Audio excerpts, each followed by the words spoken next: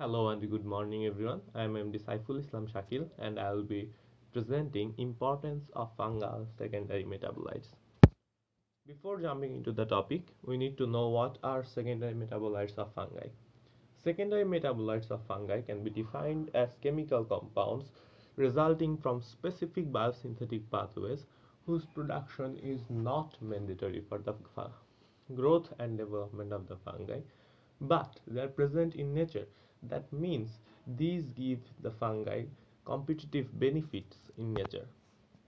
They can be divided into four categories that are polyketides, terpenoids, non-ribosomal peptides, and hybrid non-ribosomal peptides or polyketides.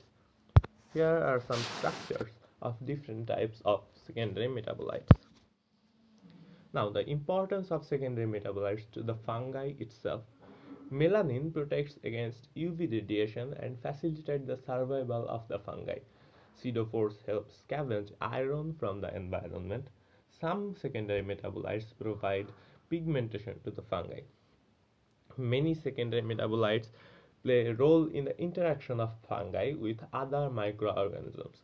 For example, some fungi produce antibiotics to limit bacterial growth in parasitized insects to reduce competition. Some secondary metabolites can act as molecular signals in case of both mutualistic and pathogenic interactions. Here is an illustrative flowchart of fungal secondary metabolites and their uses. Now, the importance of secondary metabolites to us. Some, uh, some fungi provides wide, wide range of antibiotics such as antibacterial, antifungal, antiprotozoal agents.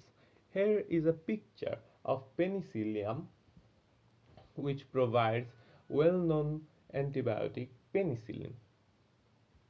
Some secondary metabolites are used as immunosuppressants like cyclosporin A or cholesterol lowering agents this is a microscopic picture of Aspergillus terreus which provides cholesterol lowering agent.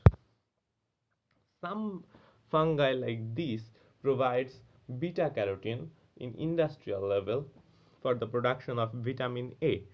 This fungi provides gibberellin which is a plant growth hormone for agricultural purposes.